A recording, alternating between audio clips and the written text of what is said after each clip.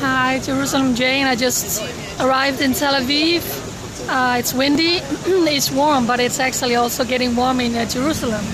But I just arrived in Tel Aviv, and if you see behind me over here, there are some flags flying in the wind, and uh, also the Danish flag. So that makes me uh, rest assured that I have arrived in the right place.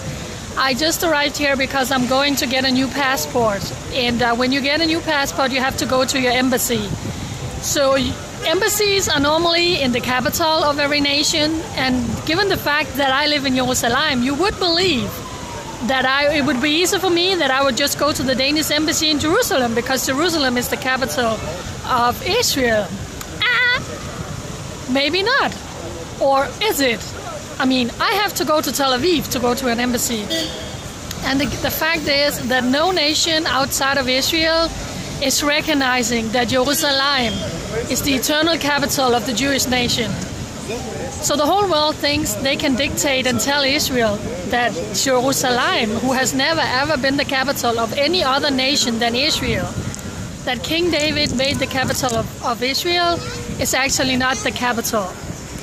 So for that reason, uh, no, no nations has their capital or their, their embassies in Jerusalem because we all know that the so-called Palestinians want their own state and they want East Jerusalem to be the capital of Palestine.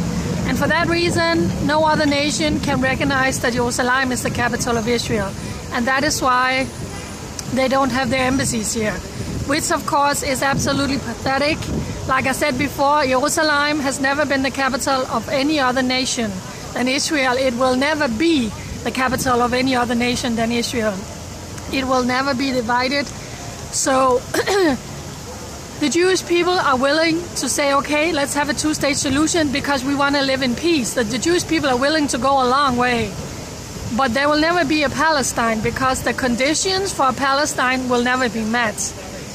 Benjamin Netanyahu, the Israeli government, is not willing to separate Jerusalem. Jerusalem will never be divided. Jerusalem will always be the eternal capital of Israel.